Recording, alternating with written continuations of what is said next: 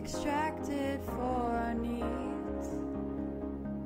Aid 1% by the world, refine oil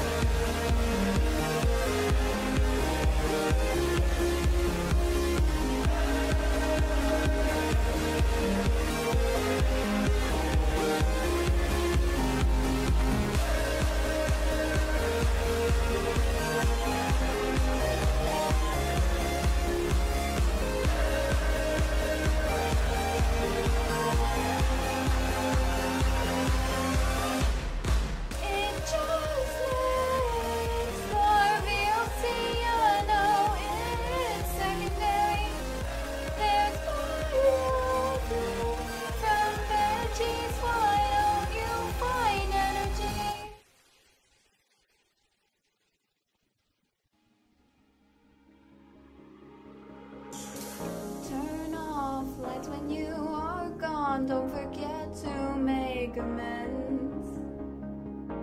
drill deep into the ground and forms more photochemical smog. Don't drive when you cannot walk, cause transits will save more fuel. If it's burned, it forms SO2, and then we have acid rain.